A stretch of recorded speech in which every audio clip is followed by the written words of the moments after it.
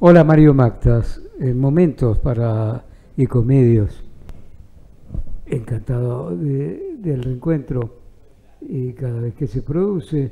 Y, a, propósito de producirse o de producirse eh, alrededor de algo infrecuente, sucedió aquello que eh, por momentos mm, eh, escuchamos y vimos muchos, cuando se presentó el ministro eh, Marcos Peña, el jefe de gabinete, a rendir lo que se suele llamar en el mundo y en general se ha establecido eh, un repaso del Estado de la Nación.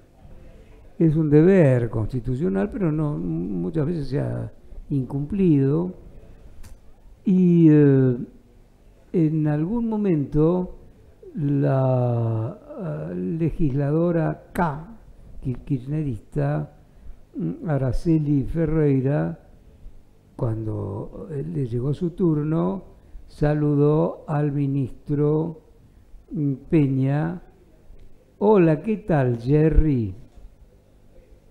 pues claro, la fuente de esta expresión fue una entrevista al secretario de Cultura, Pablo Beluto, durante la cual dijo que eh, era inimaginable que saliera del gabinete eh, arroba Marquitos Peña para Twitter del gobierno porque son el, presidente y Peña como Tom y Jerry. Eh, bueno, no será maravillosa la expresión, pero sí eh, capaz de ironía como lo es Abeluto. Tommy Jerry son un gato y un ratón, todos lo sabemos, de los animados, dibujos animados clásicos, que aunque riñen constantemente, terminan por ser complementarios, riman como en la poesía clásica. Eh, no hay Tom sin Jerry, no hay Jerry sin Tom. Y la, legisladora kirchnerista, que se la tenía picando, saludó al ministro, ¿cómo estás, Jerry? Y claro, después se produjo un, aluvión de críticas en las redes sociales. ¿Cómo puede ser? Le pagamos 200 mil pesos como mínimo para hacer, para hacer bromas Mm, para agredir.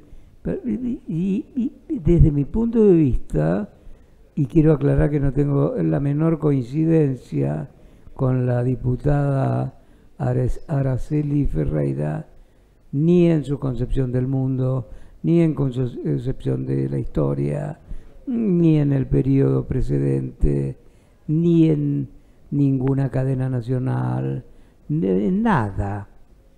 Pero creo que la libertad está para emplearse, es la palabra de mayor belleza del idioma, libertad. En consecuencia, sería muy miserable que si algo resulta gracioso, oportuno, una salida, como suele decirse, quedarse impertérrito porque es un, un adversario político.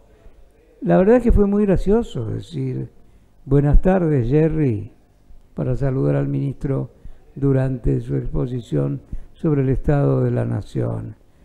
Y lo demás, eh, bueno, y toda esa sobreactuación, esa ofensa y demás, lastima a la democracia, que ya está muy lastimada y en peligro en toda la América Latina y cada vez más.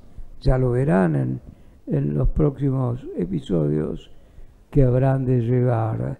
Eh, en consecuencia, no es importante que uno tenga un color y otro otro si el número 2 es realmente gracioso, tan gracioso como buenas tardes Jerry.